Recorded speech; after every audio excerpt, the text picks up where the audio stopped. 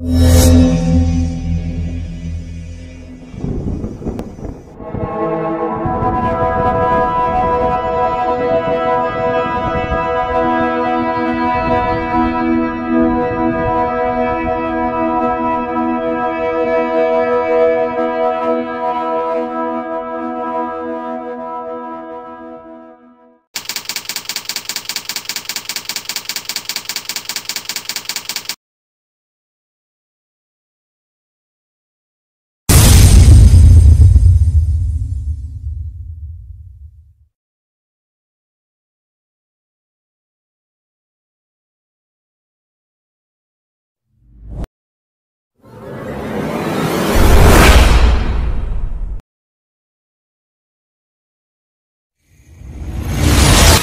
Apakah yang dimaksud dengan kebenaran itu?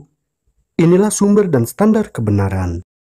Setiap orang tentunya akan mengklaim bahwa keyakinan atau doktrin ajarannya adalah yang paling benar. Sikap seperti demikian adalah sesuatu yang wajar, karena orang tersebut meyakini tentang kebenaran sebanyak dan sejauh yang dia ketahui di sepanjang hidupnya.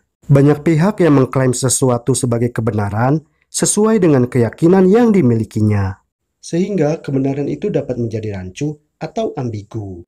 Akibatnya, kebenaran menurut seseorang belum tentu menjadi sebuah kebenaran menurut orang lain. Lalu, bagaimanakah caranya kita dapat mengetahui bahwa sesuatu itu adalah memang sebuah kebenaran yang sesungguhnya? Adakah kebenaran itu memiliki sumber dan standar? Sehingga kebenaran itu menjadi sebuah kebenaran yang mutlak dan harus menjadi rujukan dan wajib diikuti atau diterima oleh semua orang? Ternyata Alkitab memberikan penjelasan tentang sumber dan standar sebuah kebenaran. Inilah sumber dan standar kebenaran yang dijelaskan oleh Alkitab. Alkitab sedikitnya memberikan tiga hal yang menjadi arti dari kebenaran. Yang pertama, Yesus adalah sebagai sumber dan standar kebenaran. Yohanes 14 ayat 6. Kata Yesus kepadanya, Akulah jalan dan kebenaran dan hidup. Tidak ada seorang pun yang datang kepada Bapa kalau tidak melalui aku.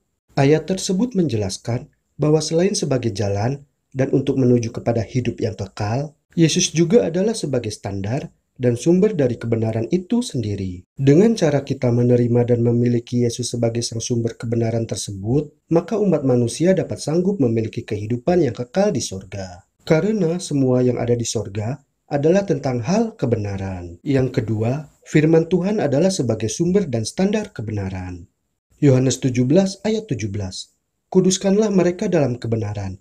Firmanmu adalah kebenaran. Ayat tersebut menjelaskan bahwa firman Tuhan adalah sebagai standar dan sumber kebenaran. Jadi, apa yang tertulis dalam Alkitab adalah yang menjadi sumber dan standar kebenaran bagi umat manusia. Dan sebagai tanda bahwa kita telah hidup kudus adalah dengan menjalankan apa yang tertulis dalam firman Tuhan.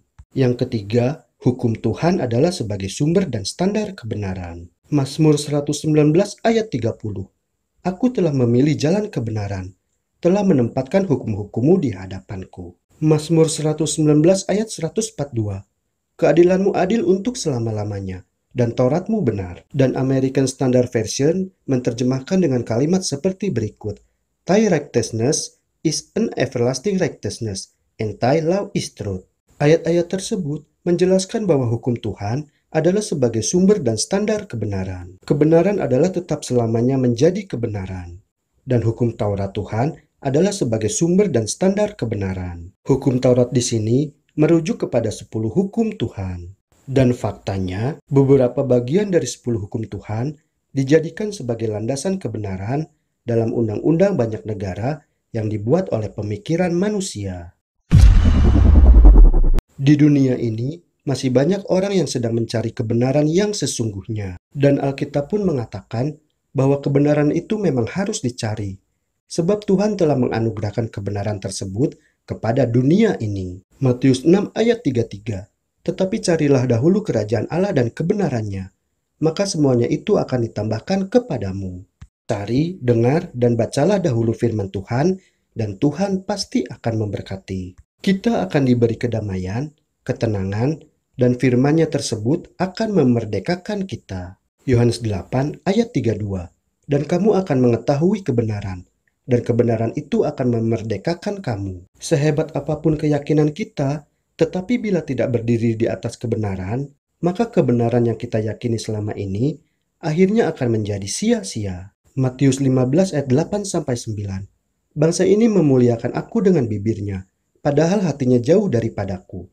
Percuma mereka beribadah kepadaku, sedangkan ajaran yang mereka ajarkan ialah perintah manusia. Jadi kebenaran Yesus Kristus, firman Tuhan atau Alkitab, serta sepuluh hukum Tuhan adalah menjadi sumber dan standar kebenaran yang sesungguhnya. Ulangan 6 ayat 25 Dan kita akan menjadi benar apabila kita melakukan segenap perintah itu dengan setia di hadapan Tuhan, Allah kita, seperti yang diperintahkannya kepada kita.